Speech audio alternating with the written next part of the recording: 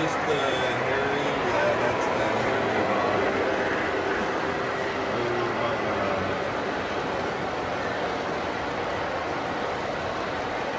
This is yours? That's a beast, dude.